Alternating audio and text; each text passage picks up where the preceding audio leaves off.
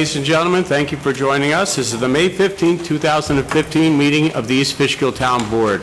This is, this is uh, typically is a workshop where the town board gets together to di- discuss matters of importance to the town, but also tonight we're going to have a special uh, voting meeting for one resolution. We have an application been submitted for a concession at Red Wing, so that would be a special voting meeting. Would you please rise and join me in the Pledge of Allegiance?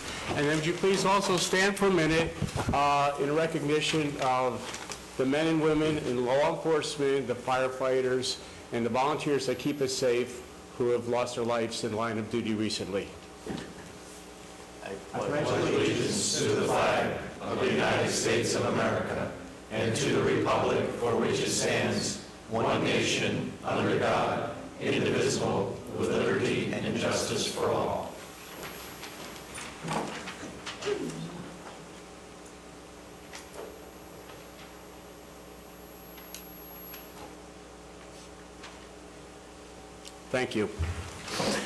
You know, it's unfortunate lately, we've seen too much of the bad news and so many of those people that keep us safe, uh, be it in law enforcement or the firefighters um, that have lost their lives. And really, when I think about what they do and the duties they perform, I think we should all be very, very grateful for them and hope that they can come home safe every night. Um, I have a couple of announcements for this evening. Uh, First of all, oh, speaking of firefighters, I've received the um, annual report from uh, the Board of Fire Commissioners, or to, that from the Board of Board of Fire Commissioners. This annual report is for the East Fishkill Volunteer Fire District, and it's put together by District Chief Kevin Geisen. And Kevin, Chief Geisen does a very good job. And just a little bit of a review of what our firefighters and first responders and ambulance people have done in 2014. Um, Total alarms were 2,186. Mutual aid received as primary, primarily ALS and support for mobile life, 687. Mutual aid given to other departments, 73. Man-hours for non-incident activities, 45,361. And man-hours for fire alarms, 18,390. This is for the year of 2014. And I guess, I got to tell you again, uh, our our fire district is, they call it four companies, one family. They're all volunteers, and I got to, just can't thank them enough for the things that they do and then the, the- the services they provide to the town. So uh, our hats off to our firefighters, our first responders, and our volunteers, and uh, thank you very much. We really appreciate it. And the annual report really spells it out. I'd like to take, thank Chief Geisen for that report. Um, Oh, I have a letter from Dutchess County. I forgot, if anybody was here, we had a, Dutchess County is going to be replacing the Palen Road Bridge. Uh, Dutchess County Engineering was here, I believe, was in February, and they gave a presentation on how the work was going to proceed. And it was to be a one-year project if they started in May. So we haven't seen the work started yet, so this is the recent letter I got uh, to let me know that they're going to be opening bids on the Palen Road Bridge project this Friday, anticipating construction starting in July and August. Um, At the meeting that we had here previously, engineering had mentioned we may, as they call it, winter the project if necessary, and at this point, that's what they're going to plan to do. They intend to keep the bridge open as a one-way lane alternating on the northbound lane. So what they're going to be doing is, for the wintertime, once they take the southbound lane out of commission, they're going to have lights on the northbound lane to let you go either way. Um, So they're going to be doing that once they take the southbound lane out, and then in the springtime, when the weather breaks in the spring of 16, the contractor will come out, move traffic from the north lane to the southbound lane, again with the lights, while they reconstruct the northbound lane, and hopefully complete the project. So I just want to give everybody a heads up. Looks like they'll be starting in July and August, so I would assume they'll be taking the southbound lane out quickly, and uh, we will be seeing the light, the traffic lights going up. So everybody uses Palen Road Bridge, just be warned that this is going to be coming. All right, just wanted to make that note. And on another note, I noticed DOT's been making some mention of doing the uh, bridge down there on Route 82, the temporary bridge, and they're thinking of doing that also. So we did send them a reminder that the county's going to be doing their bridge. Please do not do both bridges at the same time. and they emailed back and thanked us for that little bit of advice. So we'll see what happens. But Palen Road Bridge will be starting construction in the July-August timeframe. Um, One other thing I'd just like to mention, that we get a lot of calls on this, the uh, highway sweeping. How are we doing with the sweeping? Uh, We have approximately 200 uh, 200 miles of town road, and uh, we get calls all the time about the sweepers. This has been a very, very tough winter, as everybody knows. It's warm today, but gee, it was, seemed like just about a month ago, there was still snow on the ground. Uh, Because of the uh, issues getting salt, we ended up using more sand with our salt mix because we were running out of salt towards the end of the winter. The state was not releasing salt to the municipalities, and so we have more sand on the roads now than we would normally have in this time of year. That being said, it's taking longer for our sweepers to pick up, and Peter, you're the liaison to the highway department. Have you gotten any idea how the sweepers are doing? Yeah, I got an update. I spoke to Dennis today, and I got a letter from someone else. Uh, Usually, right now, they're sweeping every day with two or three sweepers, about three quarters of the way done. Uh, Usually, over the past few years, he's been starting at the end of February uh, with sweeping, and after that, they only in the roads that they do get to sweep early.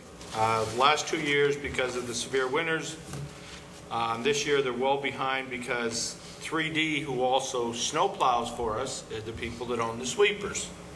So the mechanics um, were actually plowing. So because of the severity of the winter, they're about 30 days behind. Wow. And just so people know, they actually rotate where they start each year. One year they start in Hillside Lake, the next year they start on Stormville Mountain. So that's why they're really behind. Um, And there's a lot more sand on the roads because of the severity of the winter. So They're out there, with all luck, Yeah. should be done in about a month, he said. Okay. And just, uh, we've all been a little bit impatient, and I know they just did my road uh, two days ago. So they are out there, they are sweeping, please be patient, because this was a tough winter, and uh, we are, we are sweeping, we're just a little bit behind, so. We're almost to Route 82. Just short of Route 82 Oh, going good. this way. Okay, good to hear. How, uh, how much of the town, did he, did do you have a percentage of the town? About already? three quarters done, 75% complete. Okay, all righty, sounds good. So hopefully the sweepers will be winding up pretty quickly. Um, That's about all the uh, reports for tonight, the announcements for tonight. Uh, I'd like to open the special voting meeting. Do I have a motion to open the special voting meeting?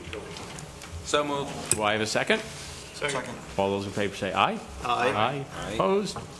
Motion carried. The special voting meeting is now open. Uh, We have a special voting meeting tonight because we have put out bids for for uh, concessions for the uh, Route 52 complex, for the main complex, and for Red Wing Park. Uh, We had not received any any concession bids for Red Wing Park, and we just recently received one, and they would like to get started because I believe they'll be opening on Memorial, Memorial Weekend.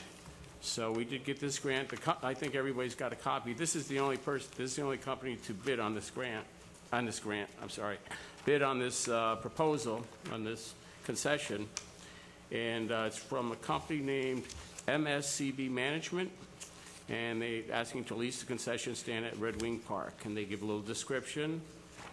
They also give their insurance, I believe, they give a little description of their menu and all that, and being as they are the only bidder, do I have a motion to grant the concession facility use for privileges to this company, M- MSCB Management? Uh, The uh, payment to the town will be $500 of- for this concession. Any discussion? Nope. Everybody okay with MSCB? All right, do I have a motion to uh, award the concession fa- facility uh, to MSBC Management LLC? So moved. Do I have a second? Second. All those in favor say aye. Aye. Aye. Aye. Opposed? Motion carried. Thank you very much. Good. Uh, Now, do I have a motion to close a special voting meeting? So moved. Do I have a second? Second. All those in favor say aye. Aye. Aye. Aye. Opposed? Motion carried. The special voting meeting is now closed. And I'd just like to thank Clerk Hurray for coming in for that one vote tonight. I appreciate that. Thank you very much, Thank Carol. you, Clark. I think we should have held that off till the end. Uh, Yeah, we we should, we could have have next done time that. to the end, right. We might have to reopen the meeting today. Uh-oh. All righty, uh, we have the work session will now begin. Uh, We have a couple, i- uh, five items for discussion tonight. The first one is police staffing, and I see we have our chief of police, Kevin Keefe, here, and Lieutenant Matarsino. Would you gentlemen like to come up? We'll talk a little bit about our police staffing. I believe that uh, the town board has gotten a letter from our East Fishkill Police Department regarding the uh, void, this is what we call void in the shift supervision due to a long-term injury of one of our sergeants who's out with a back injury. He's been out. Uh, Did not think it was going to be this long. It's been extended. But uh, I th- we've received this letter. So if you gentlemen would just like to explain to us a little bit about this void in the rotation, the management. Okay, what happens with, with uh, and the sergeant that's out? Pull the, Oh, here we are. Uh, What's, what's occurred with the sergeant who's out on injury is uh, his shift is typically the relief shift, so he's, he covers the vacancies when the other sergeants are on their regular days off. Um, With him being out, uh, we have gaps in supervision, uh, and generally, we've been paying uh, by contract an officer, an officer to uh, uh, receive acting sergeant's pay. And basically, he can, he makes um, some of the more minor decisions, but he doesn't have any disciplinary authority. when you say uh, they get actually out of title pay. It's out of title pay, is So what it uh, a is. patrolman will get out of title pay while he's filling in technically for that sergeant. Right. Okay. So, so we are uh, doling out some money in that respect, but he doesn't have the authority. He also can't do the paperwork for the sergeant. So our remaining sergeants are being uh, uh, given additional paperwork to cover for the, the absent sergeant. So it's tying them up in the office longer. And I, I'd really like to get them out on the road more uh, and put the workload back uh, among four sergeants. So, so we were asking for, uh, to promote a, uh, an- a sergeant from the active list, and, because the uncertainty of, uh, of the uh, sergeant that's on injury, he has to go through surgery, we don't know what the recovery Going- time would be. Yeah, going for back surgery, so that Right. could be a lengthy process. Um, On the list, I believe uh, we discussed one of the officers that was on the list was, uh, We have three candidates. Um, We, uh, we have one that, uh, that we feel is probably going to be the most suited, but we need to speak to all three of them on our, Okay. on our level. okay, that sounds uh, good. But um, certainly, we didn't expect this injury to be as, as significant as it turned out to be. I know originally it didn't seem like it was going to be a problem, but now it's obviously turned into quite a situation. So, uh, and I would agree that having three sergeants, uh, typically we have four sergeants, and we've seen this actually with our detective division, where we didn't have like uh, one, one detective who was the, it- it- the authority, didn't have the authority to be Right. the uh, supervisor. He was the acting supervisor It's kind of a- detective. And created kind of an issue in, in uh, operations of the, uh, of the staff. So what would, now, the cost between a patrolman and, and a sergeant is approximately $8,000 a year, I believe. is- Correct, we can- 8,300 a year. But if we're paying somebody out of title, We're paying a good Basically, chunk they're- of that already. basically that's getting paid out already. Correct. So, okay. Um, I think it's, I, I do think it's a, a, a position that needs to be filled, especially with the circumstances, and we're getting to a very busy time of year. So I don't know how the rest of the board feels. What I'd like to do is arrange for uh, interviews uh, for possibly in the next couple weeks. But I'll just get the the board's feeling on this. Any thoughts, questions? Uh, Is there a Talk about it. timetable as to when the the injured sergeant will be back? We have no timetable. We see- We're going by doctor's note by doctor's note, and so far, Matt, what's the, The last note was July 8th, but I believe that surgery was being planned in the interim. we hope. That could be extended even further. How many people does the one sergeant oversee currently? Um, Five, five, correct? Well, four. Four. It's himself and four to a squad. But he rotates, he he supervises just about everybody because he's the relief sergeant, so he sees every single officer. How are your, how are your, your sergeants do their shifts? Um, you have a day sergeant, uh, evening sergeant, then you have this sergeant that's out on, out with a back injury. He was like rotating. He sergeant. rotates, he does, uh, um, depending on the, the week, because they work a 4-2, 4-2, 5-2 schedule, he'll either work uh, two days, two evenings, or three days and two evenings, and cover the vacancies for uh, the day and evening sergeants. And so what do we have now? We have four sergeants, uh, three sergeants three now, down to working, three. right. So where do your sergeants work now? Right now, we have a day, an evening, and a midnight sergeant. Oh, and a midnight, ser- and then the other one just kind of does the rotations? Yeah, we've used, yeah, we've used the senior officer concept on midnights, and that's worked out kind of well, because it's a, s- it's a, it's a fixed uh, squad, so Yeah. you have the same people working that midnight shift all the time, so it's a little more manageable than Yes. trying to manage different people coming on different shifts. I mean, it's a tough shift. Yes. Chief, will this be an interim position, or is it going to be permanent? Um, And what will happen once the recovering uh, sergeant comes back? Well, Well, we've discussed the, the structure of the police department. We'd like to take a look at it because we just still have an open lieutenant's position too. So we're right now operating with one lieutenant and a detective sergeant. So we're still kind of short of that. We've actually operating rather shorthanded management-wise. And I'd like to sit down and talk with the uh, chief a little bit more about different structuring to make sure the work is spread out a little bit more. And I think in the end, what I'd like to do is see the sergeants out on the road also. Right, we've To be discussed more of a that. hands-on because of the paperwork that they're doing. Um, And it's just my thought that um, if he comes back, that we will at some point have to fill that lieutenant's position that we're just kind of bumping along without now. We're trying to, for budget reasons, we're trying to be very careful about all these Right. appointments. so by civil service purposes, it would be a permanent appointment, That's true, civil service would, would, would require it. yeah. So the schedule you says a four-two, four-two, five-two? Correct. And that's the sergeants or the That's men too, across the everybody? board, that's Okay, so when, now the, the relief sergeant isn't there, now we- we promote a new sergeant, the days that he's not there, we're still going to be giving out a title pay to somebody? Yeah, that's contractual, but those days will be a lot fewer because Right, we'll have okay, that sergeant. Understood, just want to make sure. Right. That's always covered by one particular individual, or is it? Um, It's usually, it's based either on a senior individual or um, the more qualified individual. It it varies depending on their, their skill set.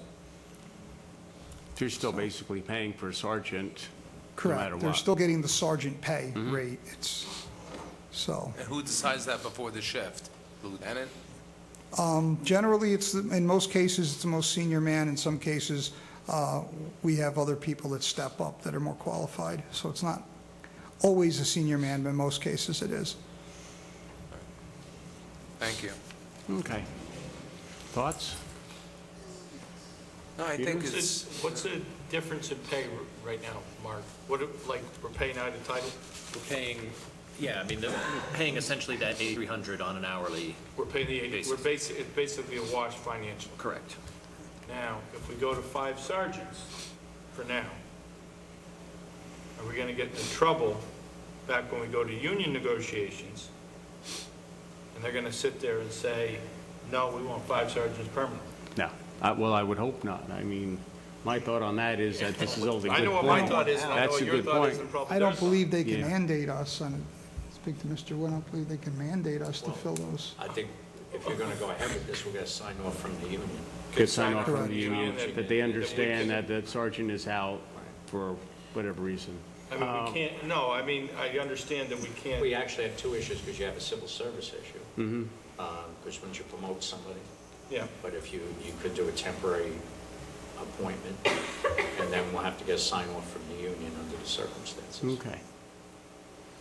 Chief, rather than... We'll take a look into that. Yep. Rather than creating another job, is it possible to have the rest, uh, the three sergeants active to share it, uh, the overtime, rather than give it to somebody else? In in overtime, I- we calculated this out, and in overtime, you would end up spending, I mean, we're talking about a few months.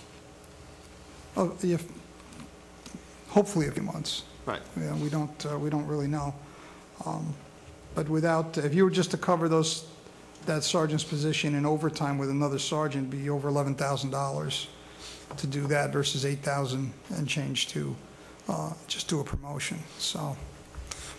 and if we are, our long-term goals are to replace the lieutenant, as we've discussed in the past, I guess it would be appropriate now, have a little bit of savings. It could be. Well, why don't we take a look at this? We'll have to look at the union aspects. Tom, will you take a look at the union contract and see if we have to, we would have to reach out to the union and get their Well, thoughts I on it? definitely want to have a Yeah. sign off, so that they don't try to Yeah, make a claim. yeah, yeah. All right, and, uh, but what, I do think that we should make this, uh, have somebody filling this position, so I want to talk about how we're going to go about doing that. Okay. All right? Also, Be- the lists, are they expiring? The sergeant or lieutenant's list, are they expiring soon? Oh, the civil service list. The- The current, the list that currently exists, um, there's a new sergeant's test coming up the end of the week. When that list is established in a couple of months, then that would terminate the current list. Right, list. 60, 90 days. yeah. Something like that. So that's just the sergeant's list, what about the lieutenant's list? Uh, Lieutenants has a little bit longer life. Their test doesn't come back until Expires in November. in November. Okay. All right. So let's see what we can do about the staffing, Tom. If we'll look into this with the PBA, see if we can get a sign off from them on that, and see if this should be, also, we have to see about the sergeant that's out right now, and see how things progress with his injury. And Okay. uh, we'll see how that goes. So we'll play by ear, and we'll touch base and see, uh, see- and also we have to check with civil service Okay, take a look at that, so.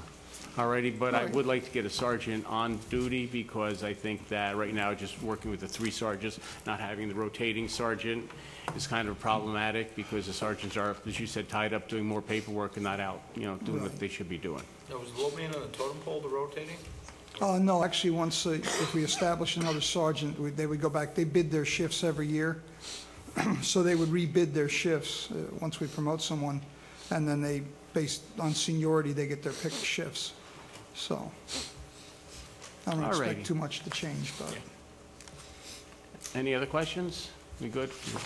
See, what we come up with, uh, with the PBA and with the civil service. And we'll get back to you, gentlemen.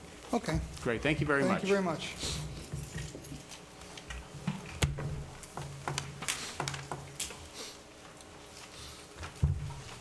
All right, next on the uh, uh, discussion would be, we have a request from the Route 52 Golf Center. Our rec director, Bill Green, is here. Bill, would you come on up, talk about this a little bit? Uh, The Route 52 uh, Golf Center is basically uh, driving range, miniature golf, um, batting cages, that sort of a thing, and I checked, it was... And a dome. And a dome, yep. And it was actually allowed by special permit enacted in 1996, I believe it was 194 dash 56, I want to say, something like that. That allowed that to happen. Um, The problem is, they want to do other sports things there, but because of the special permit that was enacted back then, it's very specific. I think they were only allowed, just what they have there is the batting cages, the driving range, and they would like to expand, and we just got this letter, that's why it's on the, on everybody's table today. They requested to convert the existing facility to a softball complex for games and weekend tournaments. They're going to keep the, the existing dome there and use that for a training facility for the Empire State Huskies. Uh, They'd have parking lots on the front of the property next to Route 52 and the existing lot, thus giving us an additional buffer zone, and they would keep the dome, the pro shop, and the mini golf. And they gave a little rendering about what they're proposing there. It's kind of difficult to see, but you see Route 52 is in the bottom, you can still see the existing dome is there somewhat in the center, and then they have fields in the, in the driving range, and one in the, and two in the front there. So uh, this is their, their request, um, and Bill and I sat down with them. They asked if we would sit down and talk about it a little bit, and uh, I just wanted to see if the board so we'd have to actually have to change the law that allows this to happen. I guess we would amend the special, per the allowances in that special permit would be one way to do it. And uh, just want to throw it out there and see what the board thought, that would be, uh, be a viable uh, use for this property. So, um, Bill and I have discussed this uh, before, and um, we both agree that one of the main things that East Fishkill needs are basketball facilities. That's probably the number one thing. And if the uh, Yeah. Tottenham Hotspur deal goes through, um, the other thing we're going to need are soccer fields. Now, I don't want to get in the way of um, this gentleman's business model. If he thinks this is going to work, then, then great. 'Cause Other opportunities can open up from this as well. If we can move all the girls over into this one complex, that opens up Field Two and Field Five, I believe. Oh, no, I'm sorry, Field Six. Or just Field I Two know is all two. softball? two. Yeah, Six is softball also. yeah. And Okay. this way, we can have more tournaments, not only here, but then we can have far more tournaments here on the rec fields, Yeah, which but- would be good. That this is private. This is private, but I'm sure that we can still Yeah. get some sort of uh, hometown discount. We'd have, a- we'd have to have an agreement with them as Right. far as our, Because this is going to be a a softball our facility. sports, yes, yes. The other dome is going to be basically baseball. So, and this gentleman said they have worked together, and they're not competing with each other. And I've mentioned over and over again, this is great, but we need a gym. Yeah, yeah. We need a facility for volleyball, for basketball, for indoor activities. The dome that is there will be used for a, a- more like a practice facility for uh, the softball. So it's going to be basically a softball facility. Bill, But do you know the age group that they're talking about, the um, the Empire State Huskies? I think they're talking uh, 12 to 14 somewhere. Because that field inside the dome will be a bandbox. They'll be No, hitting that's not, that's just to do um, Just to do Wanna work training. work, workout stuff. Training, yeah. Yeah. It's, I don't think They'll think probably they, set Tom's up and do something like Right. that. Yeah, pitching machines, pitching batting in there. machines.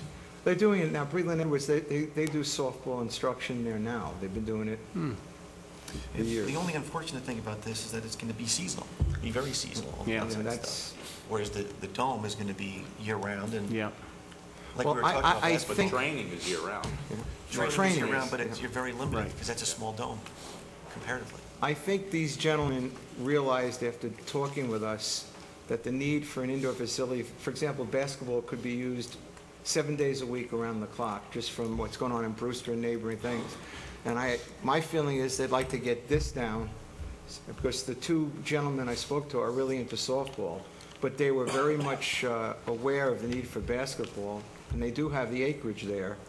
So I think they'd know then that the dome would be year-round. As you said, this is seasonal. Yes. This is also bad weather. It's not, you know, you get three days of rain, which we haven't had in a long time.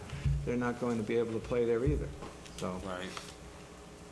but remember, they originally were looking for the dome that went down the road. They do want to put a Right. sports facility there. And he, he's going to keep the miniature golf, and I think he said the batting cages, which they're going to fix. Yeah, They're doing the, that right yeah. They've Yeah, been fixing yeah. it. Okay. Um, I have no problem with it myself. I, I would like to see if they would consider building a indoor basketball facility there.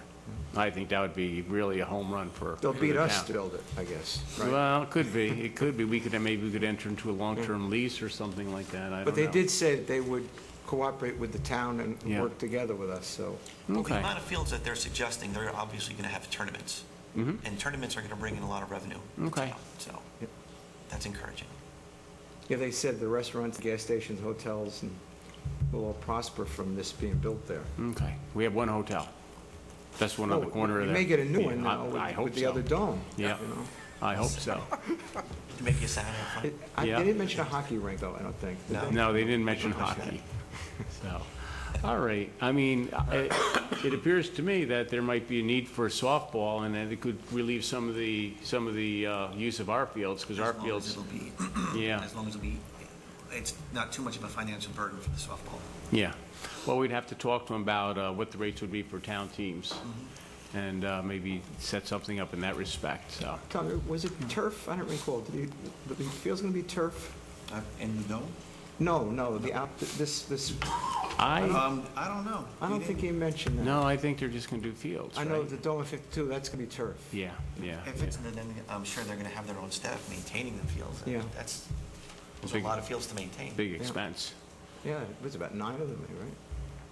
Eleven. Oh, 11. Yeah, that's a lot. All So, right. uh, will we'd have to add the use to the Well, that's what I was current- going to ask Tom, if we wanted to uh, change the zoning ordinance that allowed this to happen, a special permit in a B1 zone, um, could we just amend that, that zoning ordinance, Tom, to allow, because like I said, it's very restrictive, but it's certainly, you could see, was really just, you know, to allow this to happen. So we could allow with certain setbacks. Just go through the something- process. Yeah, okay, but it can be done. That would probably be the best, the best way to to approach this. Okay. Well, didn't that Ed Pilati come once to us before, a couple of years ago? Uh, I A think- senior campus or something? Assisted living. It was the Yeah, that assisted would've living. been a home Oh. I thought that would have been a terrific thing, we amended the law, and then uh, that was it. Right. So I'm a little hesitant with this, but the, uh, the people seem very interested, so I think they should make the application and uh, see how it goes. Okay. All right, any questions, any thoughts, any other questions? We'll, we'll call Ed and uh, tell him to make a formal application to amend, it. I guess he, would- the the applicant would make the application to change the law, and he'd have to give us uh, some information on the uses, a little bit more detailed than what he's provided us here. Okay, all righty, sounds good. Would you give Ed a call tomorrow, Bill? Sure. And tell him that we would, we would certainly consider it, but he's gonna have to make an application. To the planning? Uh, well, that would be planning, Tom? Uh, or town, that would be town board through, through Carol for the, uh, to, to amend the ordinance. to be- application goes to Carol. For the Carol, town clerk, then you'll refer to the planning board. for their review, yeah. And it comes Okay, back to you. because I think they saw him already about something, so, That's what I thought they The did. planning board. Yeah, yeah. yeah, but if they come to Carol, they'll come for our board, and we'll refer it over to planning board, then they'll give us back their comments. So to give him buzz tomorrow, I Biggest appreciate it. it would be the traffic issue. Uh, that's a tough one right there. That's, uh, traffic is an issue there, but let's see how it goes. Okay. Great. Thank you, Bill. Appreciate you coming out. Take care. All right, number three on the discussion for the evening is our Securities and Exchange Commission annual disclosure. Mark, would you like to tell us a little bit about this? We were, we were uh, reached out to by our bond counsel, and Right. The SEC requires that we file uh, disclosure documents, financial information, every time we issue um, debt. And additionally, we file an annual disclosure um, statement. So we're doing all that already, but what we want to do here, as required by the SEC, is to establish a formal policy, um, essentially um, stipulating exactly who will be involved in those disclosures and how it will all take place. So the document that you have is a first run that was produced by our bond counsel. Um, Since he produced this and since it was disseminated, I've had discussions with our financial advisor and bond counsel, and we think we can streamline this some, you know, Okay. turn it from 13 pages down to six or so. So it's a work in progress, but we wanted to get the idea and the concept to the board now so that you have um, a chance to also comment while we're in the middle of this process. And this is a federal uh, disclosure, re- this is a federal requirement, It's- regulatory requirement, so it's not like there's any ifs, ands, or buts about it. This is what we do. Yep. And uh, we just have to fill out this, is this a new disclosure form, or is there something new? No, this is just a policy, it is a policy that right? they We've told all, us. we've been doing the disclosures Right. all along, but this uh, So now in we'll have a stone how formal- the town is going to ensure that the Okay, disclosures so we'll have a formal policy in place. We'll have a formal policy Okay. to govern what we're doing now, but doing now without a formal policy. Okay, okay. Questions? That was pretty quick. No questions. Or it's very thorough. Yeah. All righty. Uh, Number four is our capital project list. You know, we talk a little bit about drainage and other projects, and um, the highway superintendent and town engineer actually put together a capital projects list. Also, they made some notes about the paving, and obviously, when it comes to the paving, we know that we're we're trying to get back up to the uh, amount that we need to spend on paving, uh, because with the recent recession and, uh, and the 2% tax cap that the governor has imposed upon us has been very difficult, but uh, little by little, we're bringing our paving budget up to where it needs to be. Unfortunately, this year with the, with the terrible winter, we're going to have to re-examine our paving budget for this year because um, our, our snow budget is eating into our paving budget, I'll put it that way. So what we're going to be doing is taking a hard look at the paving projects we're going to be doing this year. One of the paving projects we will be doing, which we know needs to be done, is going to be Lake Walton Road. Lake Walton Road is in dire need of repaving, and instead of repaving the whole road, which would probably cost us about $500,000, uh, our town engineer and our highway superintendent have been out, they've done test boring, and what we're really planning to do for Lake Walton Road is because the crown seems to be in decent shape, we're going to be milling the, the edges, I think, what's got four feet in on each edge? Plus or minus. plus or minus four feet, and then uh, be paving behind that. So we're going to keep the crown, which is in decent shape, but just milling and, uh, and and paving those four feet, and we think we could probably do the job for about $350,000. It would be about half. Yeah. It's closer probably to about six and a quarter to do the whole thing conventionally, and we're thinking about three and a quarter if we- Okay. if we mill and fill. Okay. So uh, that's what we'll be looking at, and I asked the highway superintendent to look very, very closely at other roads he would like to pave this year, because unfortunately, again, the snow plowing budget has eaten into our paving budget, and uh, we need to make sure we have enough money to be removing snow this winter in the months of October, November, December. So it's been a little bit difficult, but overall, as we go year by year, we are building up to where we need to be. Now, this list of cap, proposed capital projects, um, I don't know what we're going to get to this year because, as I said, of the difficult winter, but it's something I'd like to ask the town board to take a look at.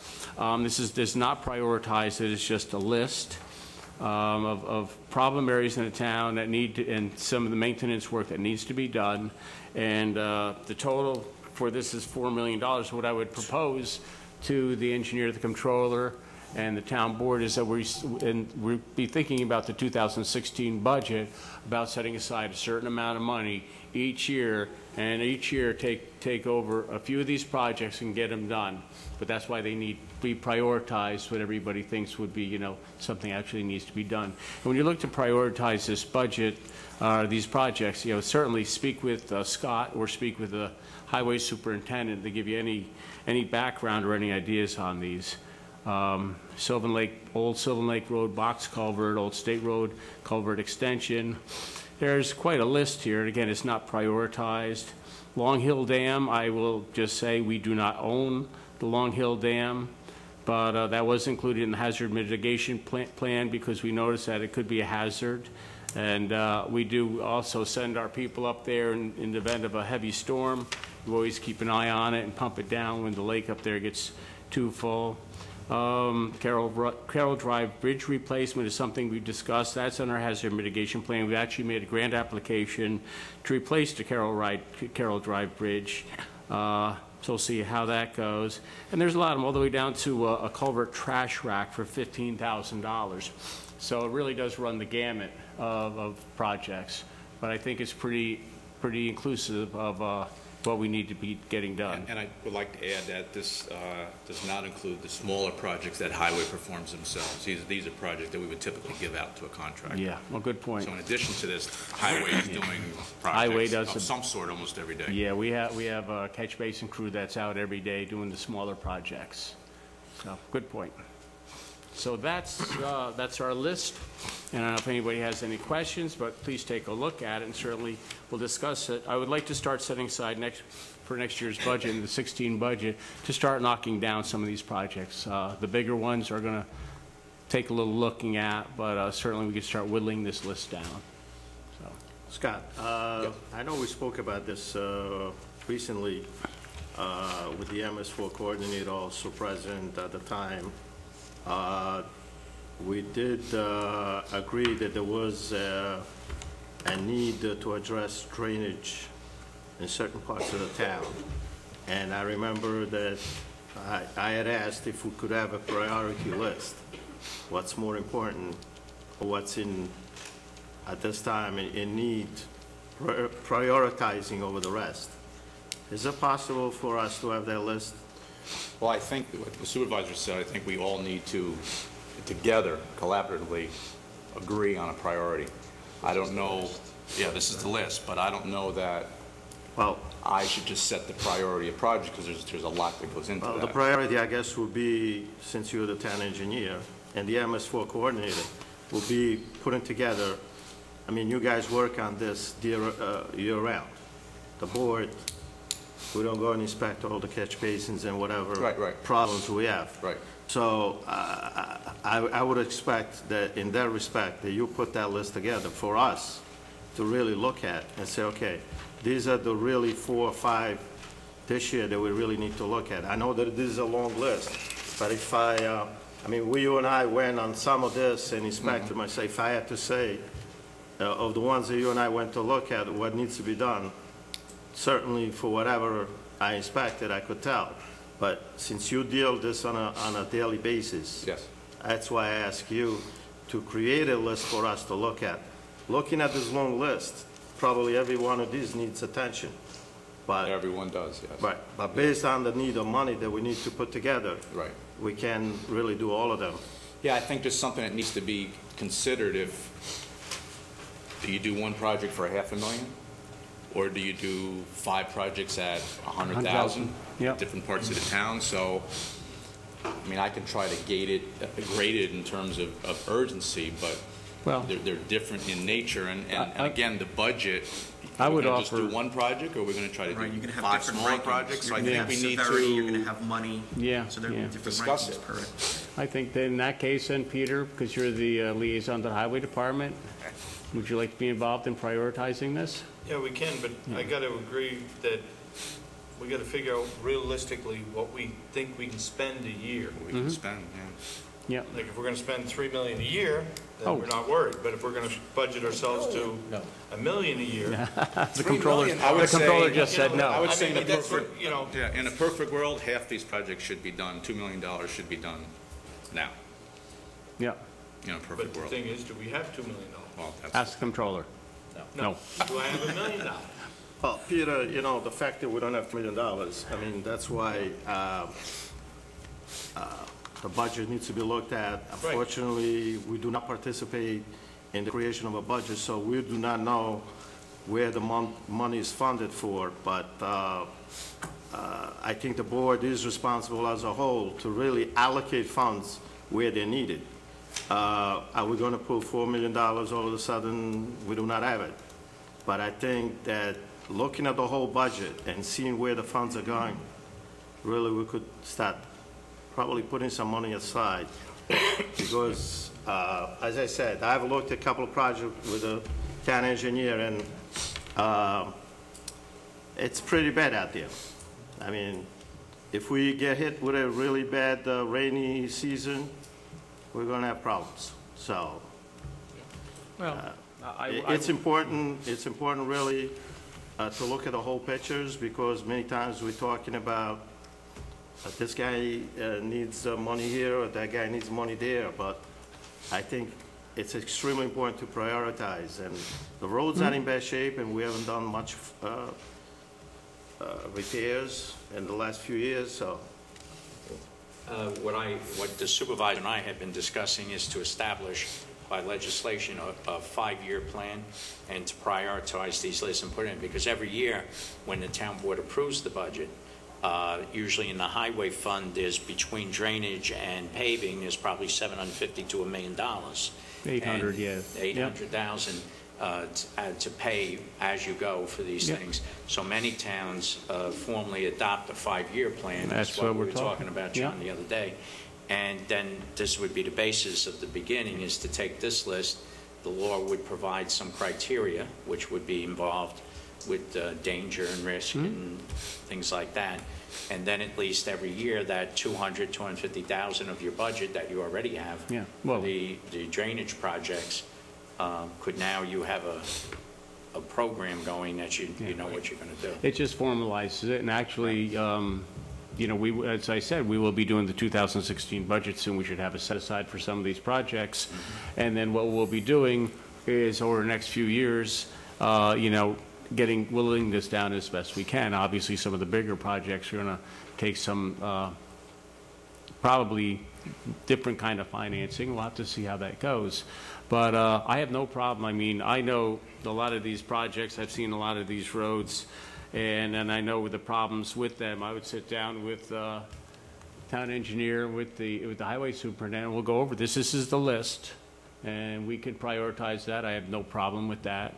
Um, I've worked in highway many years myself, and I know a lot of these, oh, a lot of these issues, so that would be no problem. So what we'll do is, uh, we'll, s- we'll sit down, and over the next uh, few weeks, we'll put together a priority and see what the priorities are. Again, realize that some of these projects are very large, and, uh, but we do have grant applications in for two of them, so hopefully we'll be able to get some federal funding through our hazard mitigation grant to take, grant to take care of some of those. The smaller ones, we'll see what we can do. We'll put together a priority list, but at least everybody has a list, and uh, we'll, we'll put it together. So at least we'll have a plan over the next five or six years. We'll start working this down a little bit. Mark, uh, uh, we allocate about 800,000, you said, to the, for uh, repairs and uh, repaving? It's 850,000 for paving and associated drainage projects, so major drainage projects. So do we know exactly how much goes to paving? Well, we split it 700 out as is- 7 and 150, but, you know, that's just, But typically, what happens is you can't, you don't want to pave a road unless you do the drainage before you pave it. Correct, yeah. So we go out, take a look, and Dennis will go out, take a look at the basin. So send the basin crew out, you know, a few weeks before, they'll do all their work, and then they'll come in. So that's where our smaller crew does their work, and we get everything. We did uh, three or four roads up on Stormville Mountain two years ago. Uh, We recently just did uh, some roads in Wiccopee, but there was no storm drainage there, so that wasn't as as as uh, cumbersome. Um, So that needs to be looked at, but that's how they do it. So much for the drainage to prepare the road. I had a question mark is, do you advise that, uh, I mean, uh, I think that the board should participate in looking or participate in the creation of a budget to really know where we're putting our money. And I, for one, without adding taxes, would like to shift some more money into paving and drainage because we fell behind. But that would be taking and reformulating some, some money that, that is in different departments and putting maybe for the next couple of years toward that department. well, just to be clear, the the town board is very integral to the budget process. You know, we pass the, we have an initial budget that gets passed to the town board, and you can adjust it at that point any way you like. Having said Very that, I do difficult. agree that if, if possible, yep, With all due respect, Mark, it's very difficult for any one of the town boards, I, I, I speak for myself, to really know where the costs are once the document is in process and once the document is complete. I know I could come and sit with you, and, and I've done that, but I think that in the process of creating a budget, the board should be active, really seeing where the funds are put while we're creating that budget. It would be very give us, everybody, some kind of knowledge, or uh, if those funds that were put in, in a certain sections are really needed for that time, and maybe we could take some more money and allocate it to the highway department. Councilman, I think we are informed. We absolutely are. We're given the budget, and we go if we have any questions. I know I've met with Mark. I know Pete has met with Mark. Yeah. I don't only speak for Mark, myself. I but- sit with the supervisor and Mark every year and go through many stages of the budget. Can I ask about the, um, the highway budget? Is, what has been the average highway budget over the past three to four years? Has it been, has it been Roughly roughly what five it and a has half been? million. And we've just had a- an abnormal winter.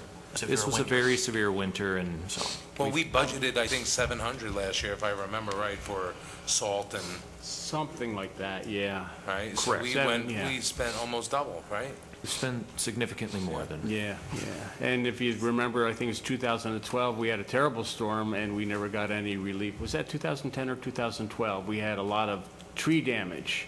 And it was very, very localized just to the town of East Fishkill. Yeah. And we spent $800,000. 880. 880, yeah, yeah. And so we ended up borrowing that money over a three-year period and then paying it back. So, uh, yeah, we've had some very, very difficult weather situations the last few years, and the last two winters have been very, very difficult. But we, we, we recognize the need to be building up. And, uh, but then you have to plow the roads, you have to make sure that the uh, storm debris is cleaned up. So it's been a, it's been a challenge. One of the biggest things we need, because of the 2% tax cap, in my mind, is to build revenue. You know, between the 2% tax cap, uh, what has happened with the sales taxes and the mortgage taxes, which is basically our revenue, is really made it very challenging. So if we can expand our tax base, that, that takes time, but if we can expand our tax base, we, then we can still work within the 2% tax cap and, and put more funding. And I, I believe that, you know, ob- obviously Highway is the place that needs to be built up for the road system and, and for the, for the drainage projects that we have before us. Yeah, if I had to pick one area that's in most need of building up the budget, it would be the highway roads and paving. I mean, besides the fact of the 2% cap, I mean, the economy is- has played a big role in creating funds and revenue for the town, so, uh, Loss of revenue. I'm sorry? The economy has given us less revenue. Of course, yeah. Yeah. So, uh, I mean, we have to deal with what we got. Uh, The only thing that I could say is that reallocating some funds from one sector to another would help. Peter, you're the liaison and, uh, to the, what do you think? I mean, I think we got to come up with a ballpark idea, and five or six-year plan, and realize that if we set a five-year plan up and we get a snow bud, or we get hammered like we mm-hmm. did this winter, we're going to take a big cut of it, and it's going to put us back a half a year. I mean, you got to be realistic about it. And, I mean, the other department we've taken a lot from over the last couple of years is that police department, sooner or later, is going to need a new car. I think we're probably a year or two behind in them, too. I mean, we got big expenses coming, Yeah. so we can't take the cars away, or, No, absolutely. there's absolutely. nowhere you can, I don't think there's any big area that I can go, that Mark or any of us can go out and find, hey, we got an extra two hundred and fifty thousand dollars sitting over there, let's put it in blacktop. Yeah. I mean, you gotta come up with a game plan, and we gotta go from there. I mean, I'll sit with them and say we figure out eight hundred thousand dollars as a number, and Yeah. then prioritize the list and start to work our way down through. And stay, you know, you gotta try to stay in, but, Yeah, I mean, there I'm- might be a year where we spend a million and a half, and that leaves nothing for the next year, so Mark's gotta come up with a creative way to bond it or something. To do that. he said the B word. He hates the B word. We don't bond.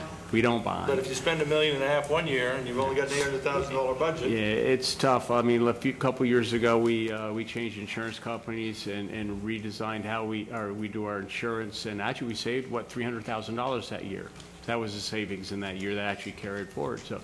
But it's getting harder and harder to find those kind of savings. Also, I think we've saved by, um, subbing out our, co- our contracting out our blacktop has, has been, I think, very efficient use of our resources, so it's tough, it's tough, and, and I'm just, uh, but again, I think we're to the point where, we, you know, we need to build our revenue, so, and we that, gotta that's come what up, we need. we need. gotta come up with a game plan for, for them, and Yeah, also probably for the police department and Yeah. vehicles. yeah, And um, rec even probably for, yeah, oh, yeah, No every, equipment. everybody's been tightening their belt, and, Yep. you know. Uh, John, We uh, general question. Do we, does the town own uh, property that maybe we could sell and create revenue?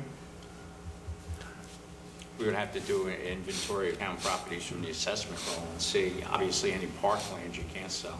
No, no, I'm not Yeah, talking no, about the park. I understand, and there may be slivers here or there, but. Can we only- look at that and see if we could come up with some money from there? Yeah. I mean, Yeah, we could take a look at that. One one of, one of the things, we've discussed this, is one of the things you realize is that your, your normal operating expenses have to be paid by your normal operating revenue, and if you get something like you sell a piece of property, that's fine. And for that one year, yeah. But you, we're getting to a point where it's just, it's been very difficult, but that's really, for long-term, that's where you have to be. You have to have your long-term, your, your normal operating revenue paying for your normal operating expenses. That's very helpful if you have, as we've had in the last few years, extraordinary expenses. But um, hopeful, and I've said this to Mark before, we're hopeful the, uh, the pension increases will slow down, maybe they'll flatten out. That will give us a break. And uh, if we have a decent winter, it's not as bad as the last two winters have been, it'll give us a chance to get a little bit ahead. But uh, yeah, it makes, it does make budgeting very challenging, but we'll certainly look to see if there's any, any properties that we can, that we can sell. But this is a, this is the list for the, uh, the projects that the highway superintendent, and town engineer feel need to be done. And, uh, we'll see what we can do. We'll put together a budget, we'll put together a priority list, and, uh, we'll talk about a budget for going forward. Can I ask the town engineer, what is a culvert trash rack? Up on uh, Hawks Lane a few years ago, we had that storm, uh, was it Irene? Irene, yeah, Um, yeah. Hawks Lane was washed out. Uh, Debris had got caught in the throat of the culvert.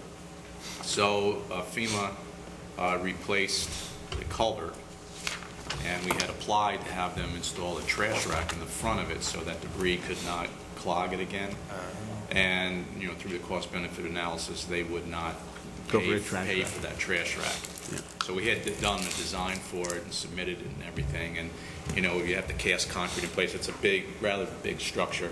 But what it does is, it, you know, it's um, a grating that's angled, that debris will kind of wash over it and not get trapped in the throat. So that's what that is.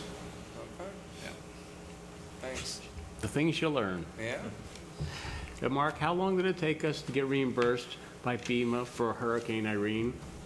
Well, we're still not fully reimbursed. Uh, but exactly. Most of the payments took at least two years. Two years. I- It it was just mind-boggling, the amount of paperwork. I mean, we had reams of paperwork that we had to submit, unfortunately, over and over and over. But we finally got most of our, most of our uh, costs paid back, so, but boy, that was a chore in itself. Yeah, dealing with the state and the federals. FEMA's, they're a little funny that way. Yeah. Anyway, thank goodness we weren't waiting on the money to fix these things. We had the money that we could actually fix them and then get reimbursed, so. All right, well, we'll take a look, and we'll come back with the capital projects budget for the next five or six years. I'd like to be realistic, and we'll see if we can do a couple of the big ones. I said we do have grant applications out, so we'll see how that goes. Um, Number five on the list is the engineer intern. At the last, uh, I think it was the last voting meeting, we had a gentleman stand up, and he's talking about, he's in uh, one of our water systems that is just getting metered. It wasn't metered previously, it's just getting metered. They always paid a, a flat rate, and uh, he wanted to talk about being metered, I guess, for usage. and Well, Scott, we're getting the about that. meters installed, but we're not on a metered usage uh, pay schedule Right. yet. We're still on a benefit assessment. And, and there's a process to go through to establish rates. You have to go through all the data, reconcile, make sure, through all these manual readings that, you know, the numbers are, are consistent numbers, good numbers. So it's a process, and there's a lot of data to go through to come up with a good rate, compare it to the, our yield at the well source, and come up with a rate that's, you know, what we think reasonably close to covering our expenses. So, you know, we're busy with a lot of projects internally right now, and the thought was if we could bring an intern in, good on the computer, good with crunching numbers, because it's a big number crunching exercise, but still being able to look at the numbers and, and realize if they make sense, not just blindly, you know, crunch numbers. So if we could do that, I think that would help get those two projects Yeah. up and running. And that was Four Corners Four and Corners Knolls. and, and Fishkill Plains. yes. Fishkill Plains, yeah. Yes. So we'd like to bring on an intern to work. And I had, a I had a local young man s- about a year and a half ago stop by. He gave me his resume. He's, I forget where he lives over, um, off of Blue Hill, over that area. Um, Graduated college, looking for a job. And uh, he had done modeling, some sort of computer modeling and stuff like that. So uh, I just kept his resume for a while, and I called the other day. And he did stop in. He met with Scott and myself, and he seems like he can do it. I mean, we certainly can put an ad out there, but we do have one person that's interested, and we do, do think he's qualified. What do we pay an intern? I forget, what is an intern rate? 10, 15, We had an intern a 11? few years back. Yeah, At the yeah. time, it was 10 or 10, 11, 10, something like Yeah, that. something like that. I- What do we, what do, um, we'll have to take a look at the rate, but that's about the ballpark, what the rate would be for, for that type of a position. Yeah, I mean, we could set it, just something above minimum wage, and Yeah, otherwise we have to go through all sorts of processes to get it approved as a at a lower rate. unpaid intern, you know, right? Or, mi- so, Okay. And being as you'd be working uh, on water issues, uh, calculating, taking a look at the water um, usages and stuff like that, that would actually be billed to the water, uh, to the water districts, I believe, correct? yeah, we would uh, allocate any of his expenses, as long as he's working on water and sewer projects, to the water and sewer districts. Okay, which is typically what we do anyway, that with any special, a special district, water or sewer district, we always allocate the expenses from that district uh, to that district, so those people are always paying for that. And I, I think we did talk about, we might even realize the savings if we go through these districts and find some inefficiencies or something being missed. So it could be a very good exercise. Anyway. How long are we thinking that we'll need the intern? Well, th- there's two ways we could look at it. Just to do the rates themselves could take, you know, three or four weeks, I think. Uh, And if, and if he wraps up early, I'd like to really go back and audit all the systems. You know, we don't do that So frequently we're enough thinking like, to. we're Well, just we- thinking for a month or two, is that? Well, tops? either we could do just the rates, or if it's a summer intern, it could be for the summer. There's, there's enough things to go back and trend and review in all our water and sewer systems, our sludge hauling, electricity usage, you know, we really don't trend those items So the maximum, say, two months? summer, yeah, You think that? Okay, yeah, on the long side, yeah. yeah, Okay. okay. Anybody, anybody have any questions on that concept? I think it'd be good, we'll put something on Channel 22 and see if anybody would be interested, and I would like to have the board interview the young man that sent in his resume, and, uh, We would just See what we can do. like to have an engineering background, environmental science, yeah, engineering yeah, background. yeah. So we'll put something on, and we'll, we'll see what happens. Oh. Okay, all right. If everybody's okay with that, that's it for tonight for the discussion portion of the meeting. Uh, Liaison reports, um, for myself, under the police, I know the police have been, hasn't been outrageously busy, nothing really going on. They, they, they seem to keep themselves quite, quite occupied, but uh, there's nothing major to, uh, to report. We have been talking about the vehicles that you bring up, Peter. Uh, Some of our vehicles are getting a little old. We do have two cars coming in to replace the ones, but as you said, we just got to keep moving on, you know, replacing the vehicles. But otherwise, everything is going well with the police department. Um, Peter, highway, anything else on the highway besides the sweeping? Uh, yeah, a couple things. Um, They've been filling potholes. Believe it or not, we had some of those come up this year. Uh, repairing the old catch basins. That winter's been tough on those too. Uh, they're cutting some trees along the town roads, working on drainage on Long Hill. And still the sweeping again. Um, and then two other things, I'd like to thank the, uh, police department and all of the fire departments for their assistance in the funeral this past week for the fireman from Poughkeepsie that passed away. Good. And East Fishkill stepped up 100% in both departments. Yeah, it's Tim Gunther, the Tim city of Poughkeepsie uh, fireman that passed away out, uh, in the line of duty. Yes. I was going to be Our quite a- quite a resident. crowd. And a resident of East Our Fishkill. resident, yeah. Oh, I thought he was Beekman. Was he our Oh, resident? yeah, East No, Fishkill. Beacon Road. Okay. Oh, Beacon Beacon Road, Road. okay. East Fishkill resident. Could, could I just comment on something? In, um, the councilman uh, mentioned that the highway is cutting trees along the town right of ways. I think uh, it's, it's good if the citizens know that if they see a tree that's in a diseased or broken condition along the town right of way, Yeah. uh, to please report that Oh, because absolutely. um, we did get the grant fortunately for the tree survey, Mm-hmm. and that's going to help us because the town board will recall about three years ago, uh, there was an- a tree came down on Shenandoah Road, which wasn't even on Wasn't town right-of-way. But under the new case law in New York State, uh, if, if there is any reason to believe that a municipality knows of a tree, even if it's adjoining the right-of-way, and it falls, and it can hurt somebody on a public roadway, the town is liable. So part of the way to protect ourselves is what you've initiated, Supervisor, with that uh, tree survey and review, which is part of what the courts say, if the town can show they've taken reasonable steps to uh, ascertain what trees are diseased, in danger of falling, uh, and you set up that program, then you protect the taxpayers, because obviously a $750,000 insurance claim is very hurtful. So I think that, combined with making the public aware that they should report Yeah. any trees that look like they're in danger of uh, falling on a town road, uh, it's very important to us to do that. So hopefully, when the uh, tree report comes back um, with the DEC uh, uh, grant money, that we'll be able to then give that to the highway superintendent and have a record of the steps that we've been taking to make the roads safe for the public, but also to protect the public's uh, exposure and liability. Yeah, oh, absolutely. That was kind of a surprise that the, uh, that the court ruled $750,000 for that changed because incident. it, it used to be that towns were immune from liability, um, but now that's eroded and it's become very prevalent in Yeah. Long Island, Westchester, uh, and the Court of Appeals has upheld it so that the way to start to protect ourselves is to take the steps like the, the tree survey and things like that. And I think the tree survey is not like a one-year project. I know the DC uh, Has to be ongoing. has this grant program, so I'm thinking every year we need to take advantage of this grant program. Also, another part of it should be, you know, having our highway crew trained and things of this nature, which really will protect us And, from- and from also the that. survey will Yeah. include our parks, because Yes. God forbid somebody's walking on one of our trails in the park. Yes. And there's a tree that's diseased, uh, so if we had knowledge of it, we should take Mm-hmm. Yeah, care of it. right absolutely. I away. just asked uh, the, the, the ground supervisor to look at one the other day, because we always have to be cognizant, these are public areas, and has to be safe for the public, so, great. Thank you for that.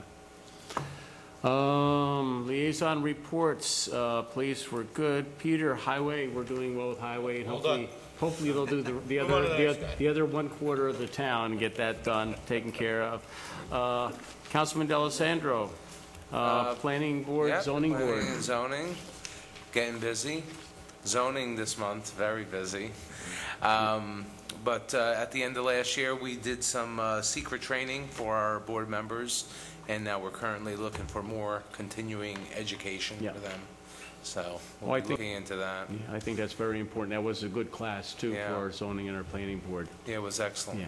And that Um, 700,000, it'd be a lot of drainage projects. Mm, Yes, it would. Yes, it would. Um, As, as, along that note, too, we met with the ARB. I know the board had indicated uh, a desire to meet with our boards. We met with the ARB last week, or last month. They did not have a chance to have scheduled board for this meeting. Uh, I believe in June, we'll be meeting with the zoning board of appeals. Right. After that, I'll try to schedule with the um, CAC and the planning board, and then sometime we can have, actually, we should have, also, I think, Tom, we talked about having uh, SEQR with the zoning board and the planning board, because sometimes their, their administration overlaps, their, their responsibilities overlap, so we have to have a meeting with those two boards sometime during the summer. So, uh, very good, and, and I, I thank our planner and our attorney for the training that they provide to our boards, they do a very good job. Very good. All righty, uh, Councilman Franco, recreation, how's our recreation doing? Very busy. I have a lot more. Wow. Um, Well, over the past year and a half or so, um, overseeing the Rec Advisory Board, or being their liaison, um, I had asked them to give me a prioritized list of all the projects that they had. And after reviewing them, um, they came up with uh, the McGrath Field parking area, which they put number one on their list. Uh, Scott gave us an estimate, and um, after a little hemming and hawing back and forth, they decided to go forth with the, uh, the McGrath Field, and I believe with the community center and uh, the satellite, with paving and lighting. And Scott, if you can talk a little bit about it. I know Well, the, if, um, if I may just make one point, Tom, Well, you know, we were talking about, we were talking about um, paving projects, we we're talking about paving Lake Walton Road, we're talking about milling the four feet on each side down Lake Walton from one end to the other. That's going to create a lot of milling. How many tons did you say, Scott? Uh, We estimate about 2,300 tons. 2,300 ton. So what are we going to do with 2,300 ton of milling? Um, We might actually put it down for a base over in the McGrath parking lot. I mean, I think milling makes a good base, doesn't it? Well, it'd be even more than a- just a base. I mean, it would keep the dust down, and it might be a- an alternative to try to, you know, And that'll save keep the save some cost money down. over there. Yeah. Well, that would be great. Yeah. So it saves us from having to get rid of 23 ton, 2,300 ton of millings over there, and we can use it over here. So I think that's a very good thing. We were We talking. have to work the timing out. That's what Yeah. we're working towards. Yeah. And I think we're going to talk about that shortly. Yeah. Well, as a matter of And fact. that's good, as long as it's prioritized and we have that. Yes, That's and, on our. and I'm glad you brought that up, because what we're talking about at the voting meeting next, uh, in a couple weeks, what we'd like to do is authorize bids for uh, the paving projects, because we did not, we not, did not get a paving contractor this year. So we put out a bid for paving contractors, with roads being Lake Walton being one of them. And also, then we'd also need to put out a contract for the lighting and the drainage over there. So these are two projects, hopefully we'll be able to authorize the bids for at the voting meeting in, at the end of this month. Okay, very good. Thank So you. I, but that kind of dovetails with what we're No, going to that'll be work out perfectly. If we can save some money over there, that would be great, and be able to, uh, to complete a project, because that's. Yes. That's what I would like to see Yeah. done there. So, um, I discussed at the last workshop the, uh, the possibility of a partnership with the East Fishkill Soccer Club and the Tottenham Hotspurs, uh, which is a Premier League uh, from, based out of London. Uh, The representatives were here in East Fishkill last week, and I had the opportunity to meet uh, Grant Cornwell and Andy Rogers from the Spurs. And uh, myself and some of the coaches and parents, we expressed some of our concerns. And um, one of them that I was con- very concerned about was that if, if the soccer club would undertake um, the uh, the Spurs, that this would be primarily something for the travel kids, that they would benefit the most. And uh, Mr. Cornwell and Mr. Rogers actually explained that it would be the opposite, that the rec kids would actually benefit even more, particularly the ones who are just starting off, the five and six-year-olds, because they'll be going through their program throughout their entire up to 19. So you'll just see this wave of talent come through, which is, um, which, which really eased a lot of our concerns, especially the coaches. Um, Tom, if I may, the Tottenham Hotspurs, this is a British professional It's a Premier. League. It's one, they're looking for 10, uh, 10 Super towns. clubs. Super clubs. Yeah. In the United, in North America. Wow. Not just the United States. Uh, They have two currently, uh, one in Florida, one in California. Uh, They also deal with, um, with the town, they don't necessarily just wait for the clubs to ask them to join. They have to approve it as well. So one of the things that they did, they were, uh, they went to our complex, the Route 52 uh, soccer complex, and they, uh, they went to go see a bunch of games. They talked to coaches, they talked to players, they talked to referees and parents, and they really focused on the kids, on the little kids, to see how they were doing. And they focused on the parents to see how they were reacting. And the coaches, the deal that they had with New Jersey fell through, not because of New Jersey, or I'm sorry, not because of Tottenham, but because of the way the parents and the coaches were in New Jersey. It wasn't conducive to what they're trying to teach. So from what I understand, uh, they were here, uh, we met with them, they met with some of the the families and the- and the soccer people, and everything went very, very well. So we're very hopeful for that. Uh, If you want to learn more about this, uh, you have a child in soccer, you can have them talk, or the parents should talk to their child's soccer coach for more info. They could also uh, go to the East Fishkill Soccer Club website, which is www.efsc.net slash Tottenham dash, or I'm sorry, slash info. Uh, The other thing I have is from baseball. Uh, This past week, we did something really fun. Uh, Mike Miner and myself were able to, uh, well, I should say Mike Miner mainly, we recorded a Little League baseball game, and uh, we Yeah. put it on Channel 22. It's Saw also that. on YouTube. Uh, It was a lot of fun. Uh, Mike did a tremendous job. A lot of his own equipment he used, so we thank him for that. He had three cameras set up. It was done very professionally, other than the announcer the play-by-play, which is very difficult. But uh, in case you're wondering, the East Fishkill Phillies beat the East Fishkill Pirates 7-5. Oh, So it was, uh, 7-5, it was a close The kids game. were great. We had a player of the game at the end. It's a lot of, uh, a lot of positive support with that. wow. And uh, I have one other question for our town attorney. Um, We had talked about signs and ads on the ball fields. Could you explain how we can do something like that, where we can get that money for ads and turn it back into the fields? Well, uh, I've gone through this before, so I'm familiar with it. Um, What happens is the town board is obviously the custodians of the parks, and if you authorize uh, signage that a merchant might have an ad for, et cetera, you can do that. The revenue must go into the town coffers and then can be allocated by the town board for recreational to offset. Uh, so that if you were going to do that, you would have to establish a policy as to the placement of the signs, the size of the signs, the duration, and then there would be an agreement with whoever's going to sponsor it as to the term. Uh, And then that revenue comes into the general fund, and then the town board can appropriate it to recreation. Okay. And then we can use that? Hmm. And there is a state control's opinion on that, so. Okay. That would be good if we could alleviate some of the, uh, the cost for the fields. Yeah, oh, Because they do- absolutely. They need need to be maintained. Yeah, yeah. Most towns do it like the scoreboards or things like that. They'll have a little advertising on it, and somebody will sponsor it. Okay, thank you. Good. Oh, that'd be a great idea. That'd be very good. Anything else, uh, Councilman? That's it, thank you. Okay. Since it was Count- recreation, could I just ask, are all the scoreboards working? No. No. We have two scoreboards that are not working, and there's a discrepancy as to who uh, is to maintain them. There was a a policy where baseball was going to maintain the scoreboards. We're working on that. We're going to get that fixed, so all the scoreboards will be operational. All right, great, thank Now, you. let me ask a question. On scoreboards, don't we own them?